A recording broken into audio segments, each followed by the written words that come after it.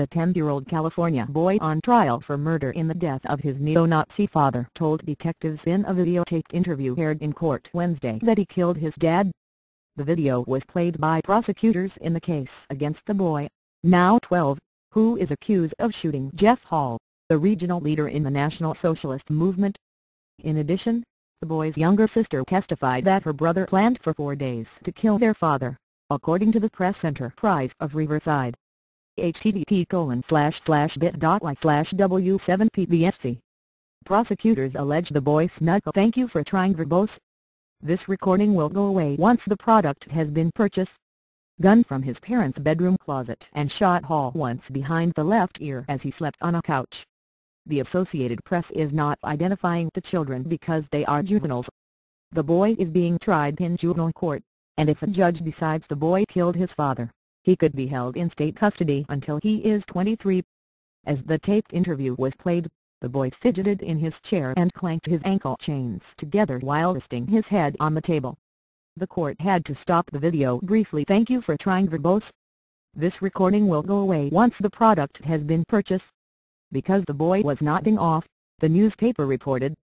On the tape, the boy sat holding his stepmother's hand and gave rambling answers to detectives. In one exchange, Riverside Police Detective Roberta Hopewell asked the boy for an example of something that might be wrong.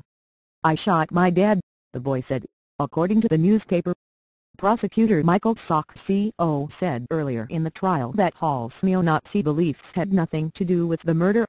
The boy killed his father because he suspected Hall was thank you for trying verbose. This recording will go away once the product has been purchased. Going to leave his stepmother and he didn't want the family to split up. Soccio said.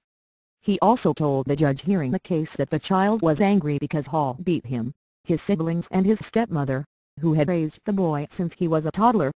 The boy had been expelled from multiple schools for violent behavior, including stabbing a teacher with a pencil on his first day of kindergarten and later trying to strangle a teacher with a telephone cord, the prosecutor said.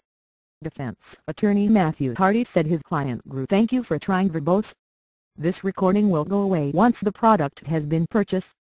Up in an abusive and violent environment because of his father's neo-Nazi beliefs and was conditioned to kill. Hall taught his son to shoot guns, and took him to neo-Nazi rallies and once to the Mexican border to make sure he knew what to do to protect this place from the Mexicans, Hardy said. The defense also suggested that the boy's stepmother, Krista McCary, might have goaded him into killing Hall because she was angry about an affair her husband was having. Hall sent her three profanity-laced text messages hours before thank you for trying verbose. This recording will go away once the product has been purchased.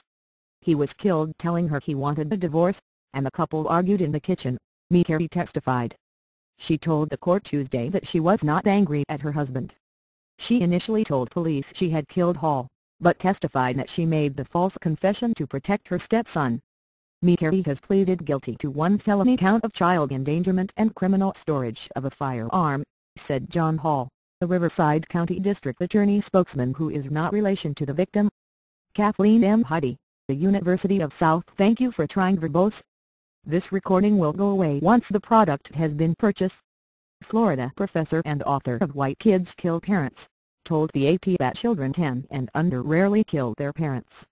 Only 16 such cases were documented between 1996 and 2007, she said.